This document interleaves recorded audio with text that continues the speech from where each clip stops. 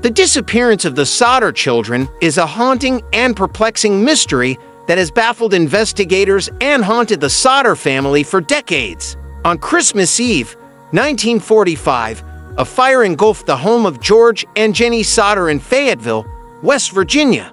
While George, Jenny, and four of their children managed to escape, five of their children, Maurice, Martha, Louis, Jenny, and Betty were believed to have perished in the blaze. However, despite an extensive search of the site, no remains were ever found.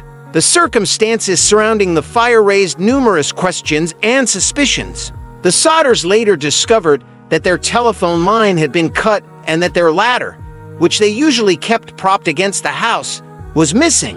Additionally, witnesses reported seeing strange occurrences near the house before the fire, including what appeared to be a man watching the blaze from a passing car. As the years passed, the Sodders refused to accept that their children had died in the fire. They launched their own investigation, uncovering potential leads and inconsistencies in the official account of events. Sightings of the missing children were reported across the country, fueling hope that they might still be alive. In 1968, a mysterious letter arrived at the Sodder home, postmarked from Kentucky and containing a photograph of a young man resembling one of their missing sons. The letter offered no explanation and was unsigned, adding to the mystery surrounding the children's disappearance. Despite decades of searching, the fate of the Sodder children remains unknown. The case has sparked numerous theories, including suggestions of foul play, abduction,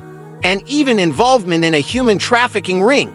However, no conclusive evidence has ever been found, leaving the Sodder family and investigators alike to grapple with the unsolved horror of the children's disappearance. The Sodder family's relentless quest for answers has kept the case alive in the public consciousness, serving as a chilling reminder of the enduring mysteries that can shroud even the most tragic of events.